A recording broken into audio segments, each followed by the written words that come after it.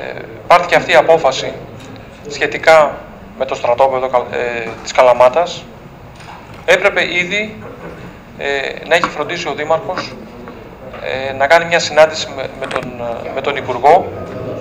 Υπήρχε και αντίστοιχη απόφαση την οποία είχαμε λάβει που σας εξουσιοδοτούσε να, ε, να αντιμετωπίσετε το συγκεκριμένο θέμα. Τώρα ζητάτε νέα, νέα εξουσιοδότηση ε, έπρεπε ήδη να το είχατε κάνει και όχι να, να, ψάχνετε σε εμάς ε, να σας βρούμε λύση, να μας πείτε τι έχει υποθεί. Ε, ε πηγαίνετε, ε, το, τόσο, τόσες φορές πηγαίνετε στην Αθήνα. Κάνετε ένα ραντεβού με τον, ε, με τον κύριο Βίτσα. Να το ρωτήσετε. Τι ακριβώς σκέφτεται ακριβώς η ηγεσία του Υπουργείου Εθνικής Αμήνης και μόλις, ε, μόλις λάβετε την απάντηση. Να έρθετε να ενημερώσετε το, το σώμα για να μην βρισκόμαστε σε αυτή τη θέση αυτή τη, τη στιγμή να ψαγνόμαστε.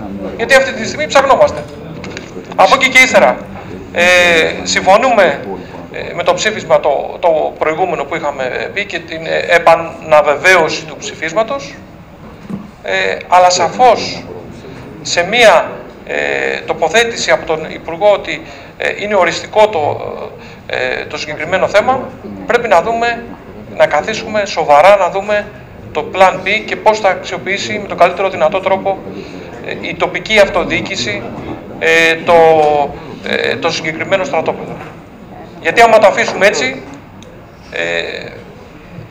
και δεν το θέλουμε, όπως, όπως λέτε, ότι δεν το θέλουμε, εμείς λέμε ότι το θέλουμε το, το στρατόπεδο, σε περίπτωση που έχουμε την απευκταία περίπτωση αυτή.